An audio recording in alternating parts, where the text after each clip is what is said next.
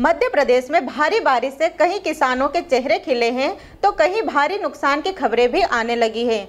झाबुआ ज़िले के ग्राम पंचायत बखतपुरा के अंतर्गत आने वाले पटवारी हल्का नंबर पिचहत्तर के ग्राम बोरिया में बने दो तालाब फूटने की खबर आ रही है।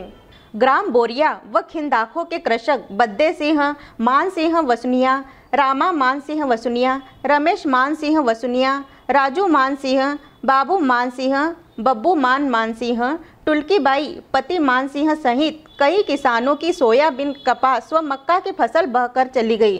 जिससे कि किसानों का भारी नुकसान हुआ है। किसानों का कहना है कि खेती एकमात्र हमारे परिवार के भरण पोषण का सहारा है। वह इस तेज बहाव के कारण हमारी सारी फ़सल नष्ट हो गई है। मौके पर पटवारी पहुँचे, जिन्होंने कृषकों का मौका मुआयना कर पंचनामा बनाया। व साथ ही आश्वासन भी दिया कि जो भी उचित मुआवजा होगा, आपको शासन द्वारा दिलवाया जाएगा। झकनावादा से मनीष कुमुट की रिपोर्ट। कपास पूरी वो सब फ़सल मेरे कई बर्बाद हो गई खत्म। और ये कब हुआ है? कल आज रात में हो गया खत्म हो गया। कितना बीघा में कपास और सोयाबीन था आपका? अभी दो बीघा में कपास था अभी तो उससे खत्म हो गया। दो कई भी नहीं अभी एक साढ़ा भी नहीं है अभी। तो देखो तुम। दो तालाब हैं वहाँ पे हमारे बोरिया में मंगलिया वाली नाटी और भूरघाटी वाले दो तालाब हैं।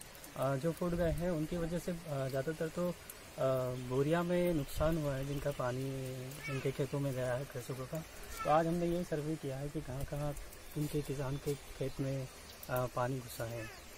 बस आज हम ये पंचनामा और ये बना के हम रिपोर्ट तहसील कार्यालय में जमा करेंगे। हेलो फ्रेंड्स आप देख रहे हैं हमारा channel S W twenty four news हमारे सारे वीडियो सबसे पहले देखने के लिए आप हमारे चैनल को सब्सक्राइब करें और पास में लगे बेल आइकोन को दबाना बिल्कुल भी ना भूलें।